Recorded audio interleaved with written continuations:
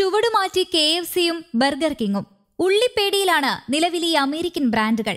ഉള്ളിയിലൂടെയാണ് ഈ കോളി ബാക്ടീരിയ കലർന്നതെന്ന റിപ്പോർട്ടിനെ തുടർന്ന് നിരവധി യു എസ് ഫാസ്റ്റ് ഫുഡ് ശൃംഖലകൾ അവരുടെ മെനുവിൽ നിന്ന് ഉള്ളി പിൻവലിച്ചു. ഈ കോളി ബാക്ടീരിയ കലർന്ന മാക്ഡൊണാൾഡ്സിന്റെ ബർഗറുകൾ കഴിച്ചതിലൂടെ പത്ത് സംസ്ഥാനങ്ങളിലായി നാൽപ്പത്തി ഒൻപത് പേരാണ് രോഗബാധിതരായത്. അവരിൽ ഒരാൾ മരിക്കുകയും ചെയ്തു. U S center for disease control and prevention ആണ് ഇത് അറിയിച്ചത്. ഇതിനെ തുടർന്ന് അടിയന്തര നടപടികളുമായി എത്തിയിരിക്കുകയാണ് ഫാസ്റ്റ് ഫുഡ് ബ്രാൻഡുകൾ. നിരവധി യു എസ് ഫാസ്റ്റ് ഫുഡ് ശൃംഖലകൾ അവരുടെ മെനുവിൽ നിന്ന് ഉള്ളി പിൻവലിച്ചു. ബർഗർ കിങ്ങിന്റെ മാതൃ കമ്പനിയായ restaurant brand ഇന്റർനാഷണലും K F C Pizza Hut Taco Bell എന്നിവയും മുൻകരുതൽ നടപടിയായി ഉള്ളി ഒഴിവാക്കിയിരിക്കുകയാണ്. മാക്ഡൊണാൾഡ്സിന് ഉള്ളി വിതരണം ചെയ്യുന്ന കമ്പനിയായ ടൈലർ ഫാംസിലെ അരിഞ്ഞ ഉള്ളിയിലൂടെയാണ് ഈ കോളി പടർന്നത്. ബർഗർ കിങ്ങിന് ആവശ്യമുള്ള ഉള്ളി നൽകുകയും ടൈലർ ഫാം ആണെങ്കിലും ഇവിടെ ഈ കോളി റിപ്പോർട്ട് ചെയ്തിട്ടില്ല. ഏറ്റവും പുതിയതായി വിതരണം ചെയ്ത ഉള്ളിയിലൂടെയാണ് ഈ കോളി ബാധിച്ചതെന്ന് യു എസ് കൃഷി വകുപ്പ് സ്ഥിരീകരിച്ചിരുന്നു. കൃത്യമായി പാകം ചെയ്യുമ്പോൾ ഈ കോളി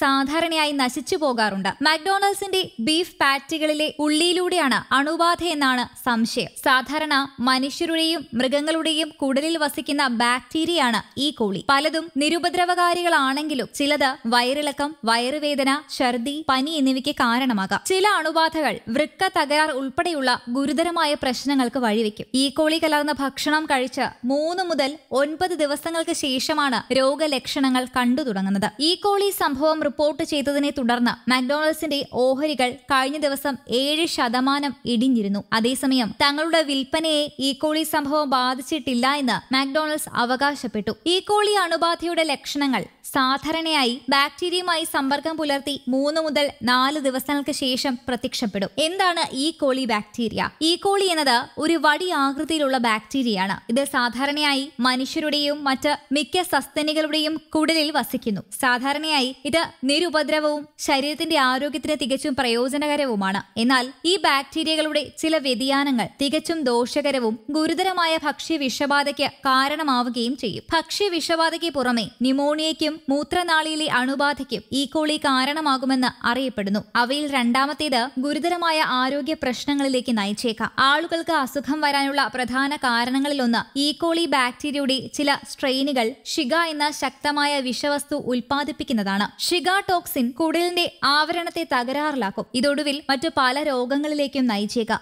തൽഫലമായി ഈ വിഷവസ്തു ഉൽപ്പാദിപ്പിക്കുന്ന ഈ കോളിയുടെ പ്രത്യേക സമ്മർദ്ദങ്ങളെ ഷിഗാടോക്സിൻ ഉൽപ്പാദിപ്പിക്കുന്ന ഈ കോളി എന്ന് വിളിക്കുന്നു. നിലവിൽ ഫാസ്റ്റ് ഫുഡ് ബ്രാൻഡുകളായ കെ എഫ് സിയും ബർഗർ കിങ്ങും കടുത്ത പ്രതിസന്ധിയാണ് നേരിടുന്നത്. News desk Kerala Kaumudi.